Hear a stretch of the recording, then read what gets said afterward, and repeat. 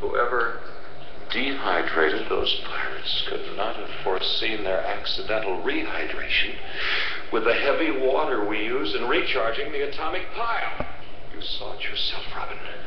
The slightest impact was sufficient to instantly reduce them to antimatter. No, Robin. No. It's not for mortals like us.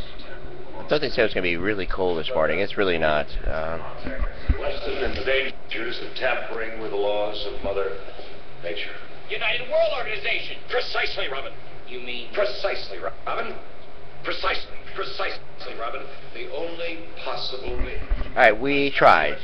Trust me. Um,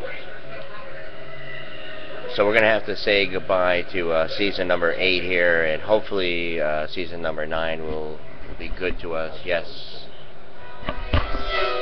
Our job here is uh, basically finished here. Uh, gave all we could. Uh, into the path of that final torpedo.